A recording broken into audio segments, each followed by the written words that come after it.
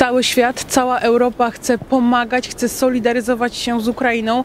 Tak samo jest we Wrocławiu. W szkołach będą prowadzone zbiórki najpotrzebniejszych rzeczy dla Ukraińców. To będą śpiwory, to będą koce, rzeczy najpotrzebniejsze. To mały gest, który może wykonać każdy z nas w stronę naszego wschodniego sąsiada. Chodzi o apteczki, chodzi o środki higieny osobistej, ale także na przykład o żywność. Ale tutaj uwaga, oczywiście żywność długoterminową, także makarony, ryż, konserwy, które mają długie terminy ważności. Uprzejmie prosimy o takie dary. Od poniedziałku będzie można je składać we wszystkich wrocławskich szkołach.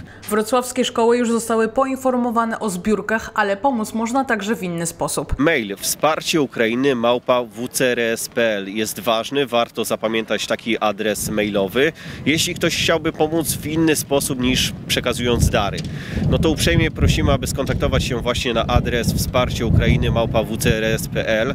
Potrzebni są prawnicy, potrzebni są psychologowie, ale także potrzebne są osoby, które znają język ukraiński czy rosyjski. My będziemy sukcesywnie odzwaniać i koordynować właśnie taką pomoc. Zbiórki rozpoczęły także inne organizacje z całej Polski. Niestety nie brakuje także takich, które z pomocą dla Ukraińców nie mają nic wspólnego. Dezinformacja to jedno z ważniejszych narzędzi, którymi dziś posługuje się Putin. Wesprzeć naszych wschodnich sąsiadów można za pośrednictwem Caritasu, która prowadzi zbiórkę na swojej stronie internetowej. Tak samo polska akcja humanitarna Save Life Army SOS lub People's Project. Park Iluminacji w Zamku Topacz to rozrywkowe miejsce, które zastanawiało się, co zrobić w tak trudnym czasie. Park miał działać do końca lutego i tak będzie, ale to będzie wyjątkowy weekend. Tak, tak, no bo czas jest rzeczywiście nierozrywkowy i oczywiście mieliśmy od wczoraj rano dylemat, e, co z tym zrobić. Mieliśmy różne plany związane z zakończeniem sezonu.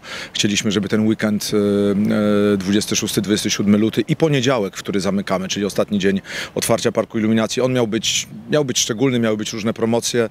Wczoraj rano chyba wszyscy jak się obudziliśmy, to wiedzieliśmy, że to, że, że to już się nie może wydarzyć. Chyba najlepsza decyzja, jaką mogliśmy podjąć, że park jest otwarty, natomiast z całego tego weekendu zamknięcia, czyli od soboty do poniedziałku przez te trzy dni 100% przychodów, każda złotówka z biletu będzie, będzie przeznaczona na pomoc ukraińskim rodzinom, które potrzebują wsparcia we Wrocławiu. Już w tej chwili rozmawiamy z organizacjami. Analizując poprzednie weekendy, jesteśmy w stanie oszacować mniej więcej tę kwotę weekendową?